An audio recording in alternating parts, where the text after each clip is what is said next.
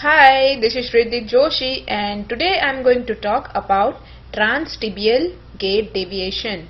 Let's see. First is knee flexion during stance phase. So what are the deviation during knee flexion and stance phase? Either it will be excessive knee flexion or it will be inadequate knee flexion. So how to remember this? What is the common cause for this? So first common cause for this is quadricep weakness and remember too far, too hard, high heel. So first too far means socket is aligned too far anteriorly. Too hard means plantar flexion bumper is hard. High heel means heel is high. Common cause is quadricep weakness. So let's see here the gait. In this gait, we can notice that due to anteriorly aligned socket, patient is having excessive knee flexion during the stance phase. Let's see what happens when the excessive anterior displacement of the socket. In this diagram, we can notice that the excessive anterior displacement of the socket. So, this is the plumb line, it is uh, right one and the, this is the force of action line which is posterior to the foot. So because of this the line is uh, line the uh, socket is close to the line of action. And the forces is transmitted. This is the forces it will transmitted through the socket to the end and back of the foot. We can notice with this black line. Again remember that plantar flexion bumper is too hard means it will limit your plantar flexion and if your stiff cushion or stiff plantar flexor bumper then amputees may flex their knee more than normal which allow the sole of foot to reach the floor. When overly stiff cushion or bumper is there and it is not absorbing the impact of heel striking on the floor. So it will tend to produce abrupt excessive knee flexion. Means if your uh, stiff cushion or bumper is there, it's not absorb the impact of heel strike and it lead to the excessive knee flexion. Remember, if the patient is having uh, knee flexion contracture, so there will be tight posterior tissues and do not permit the full extension, uh, extension. So because of that there will be excessive flexion of your knee. Let's see uh, knee flexion during stance phase and there is inadequate knee flexion. So how we can remember this? Earlier we have seen this too far, too hard, high heel for excessive flexion. If it is inadequate, too far, too soft, low, uh, low heel. It is exactly opposite. Most common cause is quadricep weakness or contracture. So if socket is aligned too far posteriorly, soft, too soft plantar flexor bumper or low heel, anterolateral discomfort or contracture on weak quads. So let's see here the gait of that patient. Here in this diagram we can see that there is inadequate knee flexion because their socket is aligned too far posteriorly. So because of this there is inadequate knee flexion. Let's see there. here if the socket is placed too far posteriorly so what happens. In this diagram we can notice that the socket is aligned or displaced too far posteriorly. So there is excessive pain and pressure at the patellar tendon area and the posterior distal areas. So patient is having pain here and here and posterior instability is also there because the line of force transmission we can see that this is line of force trans uh, this is plumb line and the line of force transmission is uh, very back to the socket. So it is a line of transmission through socket folds posteriorly on the floor reaction and that's why the prosthesis will tend to rotate backward and there will be hyperextension of your knee rather than flexion and this is the reason why patient is having inadequate knee flexion during stance phase. Remember, if the plantar flexion bumper is too soft, so what happens? There will be uh, momentarily delay between heel strike and initiation of knee flexion. So when your knee is begin to flex after the cushion is fully compressed and that's why if a single axis ankle is there and excessively soft plantar flexion bumper is there so it will allow the prosthetic foot to plantar flex too rapidly. So if plantar flexion is occur too rapidly so there will be like this sound is there. This is the slap sound on the floor is there. And that's why there is abrupt contact on the floor and there is a decrease in knee flexion range. And there, this is the main cause of uh, inadequate knee flexion. So next we can see that the weak quadricep. If quadricep is not working during heel strike so there is uh, your limb is going uh, go to the extension and that's why inadequate knee flexion is there. Normally the quadricep is working at heel strike eccentrically to control the limb loading and prevent excessive knee flexion during heel strike. So if weak quadricep is there then knee will go for extension prior to the heel strike and that's why there is a reduced knee flexion.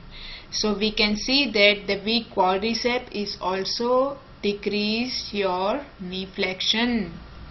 Let's see the thrust at mid stance in transtibial gait deviation. So what is thrust? First of all the thrust is sudden violent push in specific direction. So how would you remember this? Remember just limousine. The limousine car so if the patient is having medial thrust means MO. So foot is outside too much. In this diagram we can see that our medial displacement or medial thrust is there. So your foot is displaced too much medially or thrust is at medially. So what happens then? There will be excessive pressure and pain in the lateral proximal area and the distal medial area. Lateral uh, lateral area and the proximal distal uh, distal areas. So here we can see that if the supporting force or supporting foot is too far medially aligned then the line of forces this line of forces is transmitted through the socket and gap to the medial side and laterally pressure. And that's why the in order to prevent the lateral thrust your foot is outset too much. Here we can see that your foot is outset too much and thrust at medial stance. So this is normal person video but we can see the medial thrust see the patient is walking and the medially how the leg is going. In thrust at mid stance we are going to see about the lateral thrust. So what happens in lateral thrust? As we have seen that thrust means sudden violent push. So if the lateral thrust is there Li means foot is inset too much. Lateral for L and I means inset too much. Let's see in this diagram. Here we can see that the lateral displacement or lateral thrust is there. So because of this here we can see that the proximal area there, there will be pressure on medial side and gap on lateral side. And the distal areas uh, laterally there will be pain. So excessive pressure and pain in medial proximal area and lateral distal areas. So here lateral instability will be there. So if the prosthesis is rotated around the amputated limb because of lateral displacement of the socket and socket beam is pressed against the femoral condyle. While lateral part there is gap medial part is pressure. So because of this the plumb line is laterally and foot is inset too much. And because of uh, this lateral thrust is uh, fairly common. But if it is excessive the amputee may complain the uncomfortable pain on the medial uh, proximal area of the knee. And there will be ligament damage will also there. So it is again a problem for that. In last video we have seen that how patient's leg go medially. Same way it will go laterally. So like this way you guys can remember limousine car L-I-M-O if lateral thrust is there means foot is inset too much. If medial thrust is there then foot is outside too much. Let's see about the knee flexion at lat stance transtibial gait deviation. So what is most common cause for it? There is knee flexion contracture is most common cause for knee flexion at stance phase. Either it will be premature knee flexion or it will be delayed. So how to remember this? First remember bump soft means dorsiflexion bumper is too soft, it leads to excessive dorsiflexion of your foot. Case means keel is too short or socket is aligned too far forward. Let's see the gait deviation.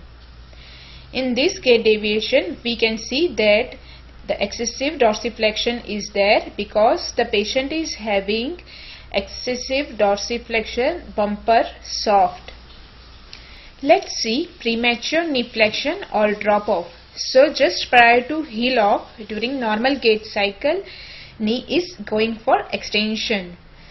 But at heel off or immediately thereafter if we remember that initial contact heel strike foot flat mid stance heel off and toe off.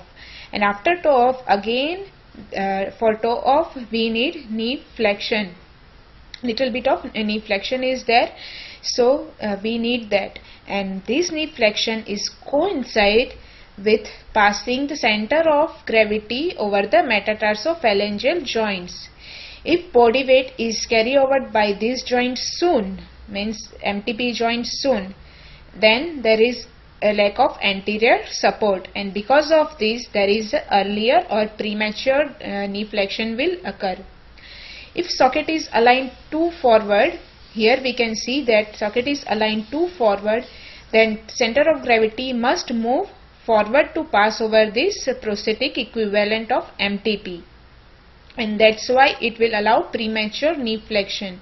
So patient will complain that uh, having uh, feel pro problem like of something and uh, they will tell that it is only in downhill walking and excessive pressure at the proximal area they will notice because your socket is aligned forward excessive pressure at the proximal area and that's why premature knee flexion at the knee. Let's move on the soft dorsiflexor bumper. If your so dorsiflexor bumper is soft then what happens? In this condition, it is uh, also minimize the distance of the body so the distance that the body must move forward before the anterior support is lost.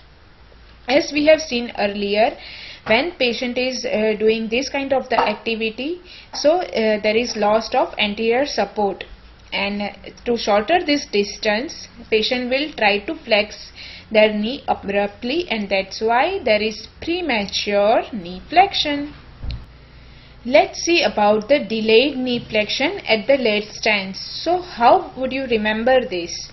Remember earlier we have seen that bump soft, now plant stiff. If dorsiflexion bumper is too stiff, it will lead to excessive plantar flexion. Case means keel is too short, here keel is too long socket is too far backwardly and that's why patient is having insufficient or delayed knee flexion. Let's see in this video. In this video we can see that the socket is aligned too far post uh, backwardly. See here. Too far backwardly. That's why patient is feeling delayed knee flexion. It is not as good as normal knee flexion let's see how delayed knee flexion occur in late stance phase. So when there is a delayed knee flexion here the anterior support is lost. So in order to compensate this the knee joint would remain in the extension during the later part of stance phase. And patient may complain while uphill walking excessively posterior or backward uh, displacement of the socket will occur so because of this there is hyperextension of your knee and excessive pressure at the patellar tendon area and the posterior distal area. So uh, socket is aligned too far uh, backwardly and that's why there is hyperextension of knee and when there is hyperextension of knee it will delay your knee flexion. So if there is uh, excessive plantar flexion of the foot because your dorsiflexion bumper is too hard and that's why the dorsiflexion bumper is hard, excessive plantar flexion of the foot and uh, socket is aligned uh, posteriorly, there will be delayed knee flexion because uh, the knee, uh, your ankle will go for plantar flexion and that's why patient is having delayed knee flexion. Thanks friends for, watching my videos and don't forget to subscribe. Lastly, I want to thanks my friend Priyanka. She made mnemonics for the all prosthetic gait deviation.